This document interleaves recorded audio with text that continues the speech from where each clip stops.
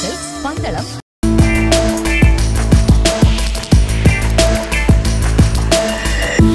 കോന്നി അടവി കുട്ടവഞ്ചി സവാരി കേന്ദ്രത്തിൽ വിനോദസഞ്ചാരികൾ കുട്ടവഞ്ചിയിൽ കയറുന്നതിനായി കടവിൽ സ്ഥാപിച്ചിരിക്കുന്ന മുളഞ്ചെങ്ങാടം നാശാവസ്ഥയിൽ.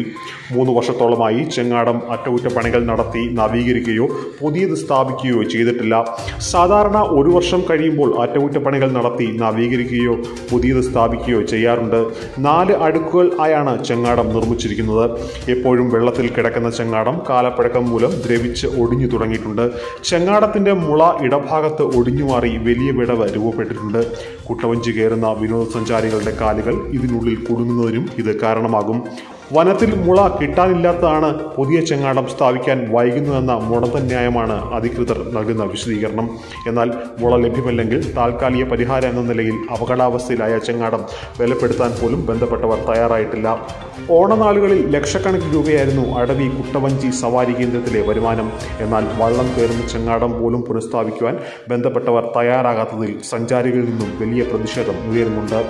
വള്ളം കയറുന്ന ഭാഗത്തെ മണൽ നീക്കം ചെയ്ത് ആഴം കൂട്ടിയിട്ടുള്ളതിനാൽ ആളുകൾ കയറുമ്പോൾ ചങ്ങാടം ഒടിഞ്ഞാൽ വലിയ അപകടം സംഭവിക്കുന്നതിനും കാരണമാക്കും താൽക്കാലിക ചങ്ങാടങ്ങൾക്ക് പകരം കടവിൽ പടവുകൾ സ്ഥാപിക്കണമെന്നും ആവശ്യം ഉയരുന്നുണ്ട്.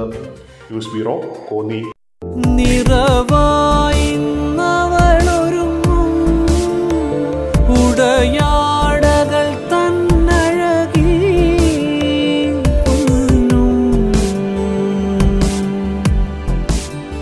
പൊന്നും ഉടവയുമാ പത്തരമാറ്റിൻ പൊന്നും പുടവയും Srivatsam silks and jewellers Pandalam Haripad Kulanada.